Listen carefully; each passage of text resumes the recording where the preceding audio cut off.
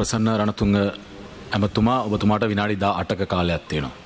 මුලාසනාරුට මන්ත්‍රතුමනි අද මේ පැවැත්වෙන විවාදය පාර්ලිමේන්තු ඉතිහාසේ සන්ධිස්ථානයක් සලකුණ සල්කුණු කරන අතිශය වැදගත් විවාදයක් හැටියට අපි දකිනවා. මුළු රටම ආදරය කරපු අපේ රට ලෝකයේ ඉදිරියේ උස්වා තබපු ක්‍රිකට් ක්‍රීඩාව පරිහාන්ට පත්වෙලා තියෙන අවස්ථාවක ක්‍රිකට් ක්‍රීඩාවට අත්තුන ඉරණම පිළිබඳව මුළු රටම පසුතැවිලි වෙන මොහොතක පක්ෂ වික්පක්ෂ සියලුම මන්ත්‍රීවරුන්ගේ පොදු එකතාවෙන් පැවැත්වෙන මේ විවාදය ජාතික වැදකමකින් යුත් අවස්ථාවක් වගේම මුළු රටටම ආදර්ශයක් සපයන අවස්ථාවක් හැටියටයි මම දකින්නේ. කරු කතා මූලාසනාරුට මන්ත්‍රීතුමනි එදා මෙදා තුර ලෝක කුසලානය ශ්‍රී ලංකාවට දිනා ශ්‍රී ලංකාව කියන නාමය ලෝකයේ බබලපු ක්‍රිකට් කණ්ඩායමට එදා නායකත්වය දුන්නේ මගේ සහෝදරය අර්ජුන රත්තුක මැතිතුමා. එදා ඒ කුසලානය දිනාගන්න කරපු කැපකිරීම අපි දන්න. මම ගෙදර හිටිය. ඒ ගෙදර ක්‍රීඩකයොන්ව ගෙන්න්නගෙන එදා ක්‍රීකට් ක්‍රීඩාවට මේ තරම් උනන්දුවත් තිබුන්නෑ මුදල් ආයෝජනය කරන අය හිටියේ නෑ එදා ගාමිණි දිසානායක මැත්තුමා එදා ජනාධිපතිවරයා හිටියට හිටියේ විපක්ෂනායකතුමාගේ පියා ප්‍රේමදාස මැත්තුමා. එදා දේශපාලන මැදිහත්වීම් කවදාවත් සිද්ධ කරන්න උනේ දෑ විතරක් නෙමෙයි. ක්‍රීඩකන්ට ඒ අර්ජුනන්තුක මැතුමයි ක්‍රිකට ක්‍රීඩාව කරනකොට පළවෙනි තරගේ ඉඳම් මුණදීපු පළවෙනි ටෙස් තරගාවලී ඉඳා එතුමාට හැකි අවතිබන තිබිච්ච අත්දැකීම් එක්ක ක්‍රිකට් කණ්ඩායම මේ කුසලානේ දිනාගන්න තරමට මෙහෙම කරගේන්න. ඒ සඳහා එතුමා නොය කැපකිරීම කර එතුමයි මයි දේශපාලන වශයෙන් එක මතවාදයක නැතිවුණත් ක්‍රිකට් ක්‍රීඩාව වෙනුවේදී එතුමා කතා කරපු දේවල් අද ඇත්ත වෙලා තියෙන. මේ ක්‍රිකට් ක්‍රීඩාව හොරකමට මේ කුසලානය ගෙනාපු ක්‍රීඩකෙන්ගෙන් පස්සේ මේක සල්ලි හම්බ කරන්න මිනිස්සු ආව මිසක් ක්‍රිකට් දියුණු කරන්න මිනිස්සු මේකට පත් වුණේ නැහැ. ඒ නිසා කවුරු හරි මේ ක්‍රිකට් ඇමතිවරුන්ට මේ දේශපාලඥයින්ට බයිනවා නම් මම ඒක පිළිගන්න සූදානම් නෑ ගරු මුලාසනාරුවට මන්ත්‍රීතුමනි. ඒ නිසා මේ රටේ පුරවැසියෙක් විදියට විතරක් නෙමෙයි මේ පාර්ලිමේන්තුවේ සිටින මන්ත්‍රීවරු 220 දෙනා අතරින් අද මේ විවාදයට මම දායක වන්නේ ක්‍රිකට් ක්‍රීඩාව පිළිබඳව මට තියෙන පෞද්ගලික සැමදියාව කැක්කුමක් එක්ක. මම ක්‍රිකට් ගැහුවා විතරක් නෙමේ එතුමා විපක්ෂ නායකතුමා රොයල් එකට ගහනකොට මම ආනන්ද අපි දෙන්න කැප්ටන් කරේ දෙපැත්තේ. ඒ වගේම අවුරුදු 19 පාල ක්‍රිකට් සංචිතයට මම හිටියා. මම ක්‍රිකට් පාලක මණ්ඩලයේ උපසභාපතිවරයෙක් හැටියට කටයුතු කරා. මම ක්‍රිකට් පාලක මණ්ඩලයේ උපසභාපති හැටියට කටයුතු කරනකොට තමයි තිලංග සුමිතිපාලට විරුද්ධව ICC එකට ලියුම ලියලා එතුමාට අදටත් එතනට යන්න බැරි මට්ටමට කටයුතු කරේ ඒ වෙලාවේ. ඒ නිසා මම ඔය ඒ අයත් එක්ක එක්කහු වෙලා කටයුතු කරා නම් මටත් හොඳට සල්ලි හම්බ කරගෙන කටයුතු කරන්න තිබුණා.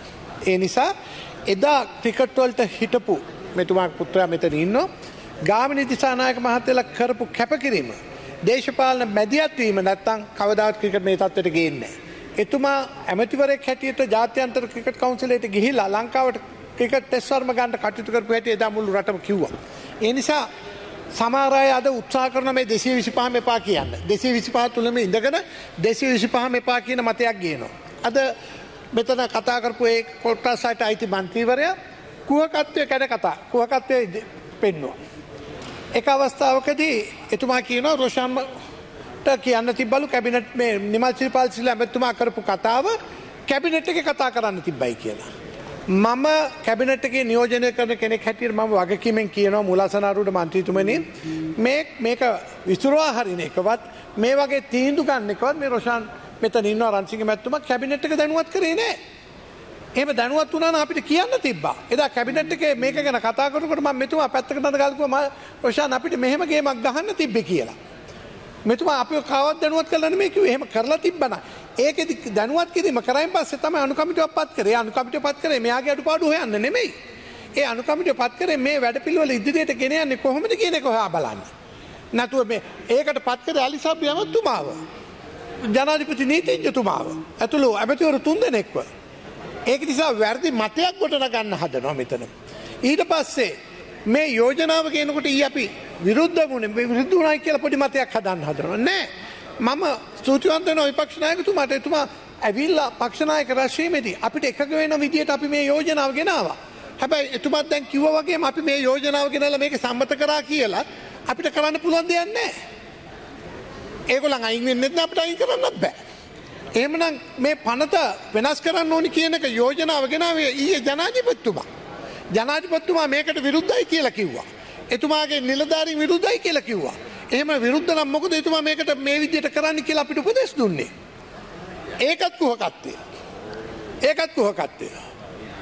ඒ ඒ දේශපාලන බලවේගේ කුවකත්වය හැමතිස්සම පෙමලුමුක දැන් අපි දෙසම් නොයම්බර් මාසද අපි ගම්පා දිසික්කේ ගැබිනි මව්වරුන්ට වැඩසටනක් කරන එතුමාගේ ලේකන්තුමා කතා කරලා දිසාපතිකාරයල්ට ඕක කරන එක බලාගෙන කරන්න කිව්වා ඒකට කැඳවනාය ගැන අපි බලනලු ඕ අපිට ඕනය තම අපි කැදවන්නේ. එතුමල්ල මේ ගෙවල් පුච්චල මිනිසුන් බය කරන්න කටයුතු කරාට අපි එමන මේක ගෙනාව සත්භාවෙන් අපි ඔක්කෝම එක්කවෙල දෙසිවිසිපාම අතුස්සමු කියලා. හැබැයි අපිට තොරතුරු තියෙනවා ජනතා විමුක්ති පෙරමුණේ අරමුදලට ඔය සම්මිසිල්ලල සල්ලි දීලා තියෙනවායි කියලා මෙතෙක්කල් වචනයක්වත් කතා කරේ නැහැ. අද තමයි ඇවිල්ලා කතා කරන්නේ. මෙතෙක්කල් එහෙනම් ඇවිල්ලා කියන්න තිබ්බනේ. අද ඇවිල්ලා මෙතන කතා කරනවා අද මුළු රටේම මතයක් හැදිලා තියෙන නිසා තමන්ගේ අග බේරගෙන අර කියන ගමන් මේකට උදව් කරනවා කියලා යටින් කියනවා මේක මෙහෙම දෙවලුත් තියෙනවායි කියලා. ඒක දේශපාලන වශයෙන් කරන දෙයක්. ඒ නිසා කුහක විදියට මේක දිහා බලන්නතු අපි හැමෝම එක මතයක ඉන්නවා මේ ක්‍රිකට් පාලක මණ්ඩලය හොරු ගුහාවක් කියන එක. මේක අයින් කරන්න ඕනි කියන තැනත් ඉන්නවා.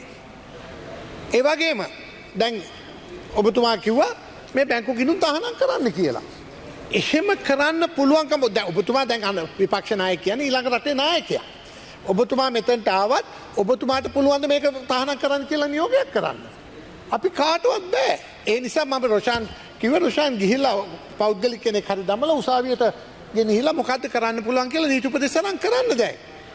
එහෙම නැත්තං කරන්න පුළුවන් විදියක් බංකව නීතිපතිට අරන්න ලියුම මෙන්න මෙහම දෙයක් වෙන මේකට උපදෙසත් දෙන්න කියලා. අපිට බෑ මේක වෙලා තියෙන වෙන මේ කල්ලැරීම තුළ මෙතන හොරකම වෙන්න පුළුවන්. හැබැයි අපි නොදන්න දෙයක් ගැන අපිට කතා කරන්න බෑ.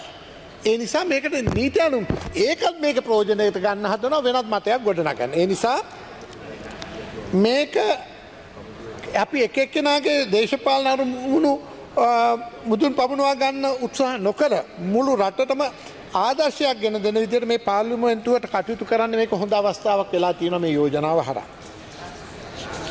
ගරු ඇමත්තුමා පිළිබඳව අපිට ගැටලු එතුමා මේ වෙනකොට මේ ගැටලුවට අවශ්‍ය කටයුතු කරලා තියෙනවා. එතුමා ගත්ත මේ විසුරුව ඇහරලා මේ පත්කරපු කමිටුව පිළිබඳව එතුමා දන්න නොමන් එතුම ඒ වෙලේම කැබිනටේ කතා කරමකිව රෝෂාන් ඔය ඕක මට කිවන මං ඕක වෙනස් විදියට උපදෙසක් දෙනවා. මොකද පත් කරනකට අර්ජුන රත්තුක මහත්මාවයි උපාලි ධර්මදාස මහත්තයාව ඒ දෙන්නම පහුගිය කාලෙම ශමිසිල්ලලාට විරුද්ධව කතා කරපු අය. එතකොට උසාවියට උනත් සැකයක් හිතෙන් ඉඩ තියෙනවා. ඊළඟට ඕකට සාමාන්‍ය මොකද අර්ජුරන්තුක මැතුමා ඉන්නවා ක්‍රීඩා කවුන්සලේ ඕකට යන්නේ නැතුව එතන්ට වෙනත් ඇදාල එතුමයි නංකිව අර්ජුරත්තුක දාපක වැරදි කිය හර්ද වැරදි කිය මන්දන්න ම සෞදරින්ද මං ඒ ගැන කතා කරන ආස නෑ හැබැයි මං මෙතුමාට කිව්වා හොඳ ක්‍රීඩක තුන් දෙනෙකුත් දාලා හොඳ පරිපාලකයට හිකුත් දාලා ඒක යටට අනු කමිටු තුනක් පත් කරලා මේක හොරකං හොක්කොහන්න නීති විශාරදයකුයි පොලිසිය කෙනෙකුයි දාලා පරීක්ෂණයක් කරන්න පරිපාලනය කරන්න ව්‍යාපාරිකෝ ටිකක් දෙන්න ක්‍රිකට් ක්‍රීඩාවට ක්‍රීඩකෝ ටිකක් දාල මේක වෙනසක් කරන්න ප්‍රපෝසල් එකක් අරගෙන කරන්න තිබයි කියලා ම මෙතුමට දක් කිව්වා. ඒක මේ කරපු දේ පිළිබඳව සීට සීයක් අපි එක ගයි. නමුත් මේක සමහරය බලන ඇහැ පිළිබඳව තමයි ම මෙතුමටික අපිට මෙහෙම කරන්න තිබ මල්ලික. ඒක කියන්න පුළුවන්කම ලැබිට කැබිනට කරගෙන ගෙනල මේක කතා කරපු නිසා එහමනත අපි දන හිතියන කැබිනට්ක මේ වගේ සාකච්ඡාවක් කරනවා කියලා. ඒවගේම මෙතනදී විජිතේරත් මංචිතුම උත්සා කරන මේ ජනාධිපත්තුවායකට විරුද්ධයි. එයාගේ නිලධාරි මේකට විරුද්ධයි කියන්න. හැබැයි ජනාධිපොත්තුමා තමයි ඊය කිව්වේ මේක කවදාව මේක අපි කොච්චර කතා කරත් වැඩක් නෑ මේ නීතිය වෙනස් කරන්න ඕනේ. නීති ක්‍රීඩා නීතිය වෙනස්ව කර මේක කවදාවත් මම දන්නවා. මේක අර අපි ආණ්ඩුවක්කාවම ආණ්ඩුක්‍රම විවස්ථාව විස්තුම් පාරක් මේක සංශෝධනය වෙලා තියෙන්නේ ඒ ආණ්ඩුවල පැවැත්මු දෙසා. ඒවගේම ක්‍රිකට් පාලක මණ්ඩලේ මේ විවස්ථා සංචෝධනය කරලා තියෙන්නේ ඉන්න කාට ඉන්න පුළුවන් විදියට කවදාවත් අයිගෙන්න්න බැරි විදියට. මේකට රනිල් වික්‍රමසිංහ වේවා අන්ඩකුමාර දිසානායක වේවා සජි ප්‍රේමදාස වෙලා මොකා සභාපතිකට ඉල්ලුවත් දිනන්න බෑකරු මුලාසනාරුට මන්තිතුමට ඒ විදිහට මේ විවස්ථාව හැදිල ඉවරයි. ඒ නිසා ක්‍රීඩා පනත වෙනස් කරන්න කියලා මේ යෝජනාවට කොටස දාන්නකිවේ ජනාධිපත්තුමා. මම මේ කාව සුද්ධ කරන්න හදනවා නෙමෙයි හැබැ ඇත්ත ඇත්ත හැටි මම කියන්නේ. ඒක විපක්ෂනායකතුමා පිළිගත්තා. ඉති අද මෙතන අපි එතුමා කිව්ව වගේ මෙතන කර මේක මතයක් හදන්න ඕනි හින්දා අපි දෙසි විසිපහම එක්කහු වෙනකොට මේක පොඩි පොඩි අඩුපාඩුකන් කියන්න අර විජිතේරත් මහතයක් කිව්වම අර සැකේ තවත් අහුරු වෙනවා. මේ ජවිප එකේ ෆන්ඩ එකට ක්‍රිකට අර මුදල සල්ලි තුන්නද කියන කාරණාව. ඉතින් එතුමා මම දන්න මම ඒ මට ඔප්පු කරන්න විදියක් නැහැ. නමුත් කියපු කාරණාවට තමයි මෙම මේ කාරණාව කිව්වේ. ඒක නිසා මේ ක්‍රිකට් ක්‍රීඩාව පිළිබඳව මේකට විසුදුමක් ගන්න කොහොමද කියනක තමයි සාකච්ඡා මෙතුමා කිව්වා ඒක.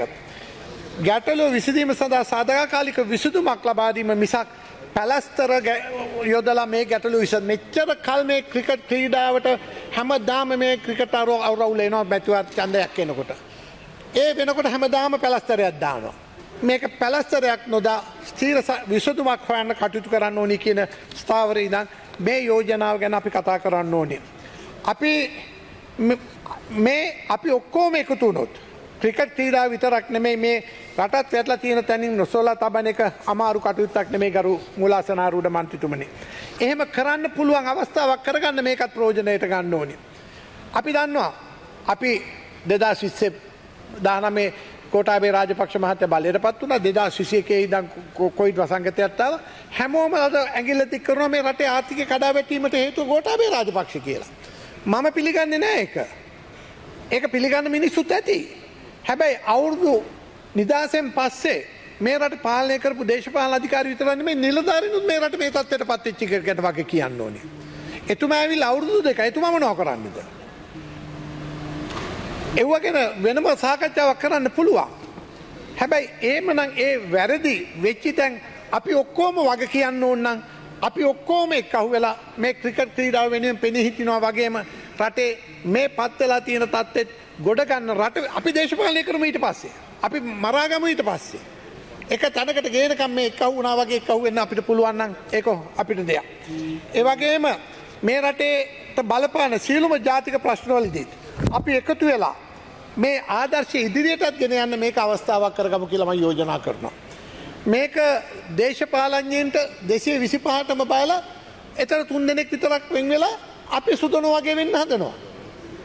එතුමල්ලා මේ රට හැමනායකෙක්ම පත් කරන්න එතුමල්ල එක වුණ මට මතකයි චන්තික බන්ධන්නවා ජයාර්ජයවදන් මහත්තයාලගේ පස්සේ ප්‍රේමදාස මහත්තය චන්දිකා මැතිනය මහින්ද මහත්තයට ඔය හමෝට ප්‍රනිධිකරසිංහ මහත්තයගේ ආණ්ඩුව යහපාලන ආණ්ඩුව එතුමල්ලන කටයුතු කරේ. ඉති දැම්ම අපි ඒවල නෑ කියන්නේ ඒකට හැකියාවක් නෑ. මම මම විශ්වාස කරන මේ රට හිටපු ජයාර් ජයවදන මහත්තය එසේක සභාපතිවරය හැටියට කටයුතු කරා. ඩොක්ට එන්නම් පෙරමාන්න ක්‍රිකට ක්‍රීඩාව වෙන විශාල කැපවීමක් කරපු මිනිස්සු කදිර ලක්ෂවන් කදිරගාමන් මැත්තුමල්ල ඒවගේ ගාමනි දිසානාක මහත්තය ඔබතුමාලගේ පිය මේ හැමෝම ක්‍රීඩාවට ආදරේ.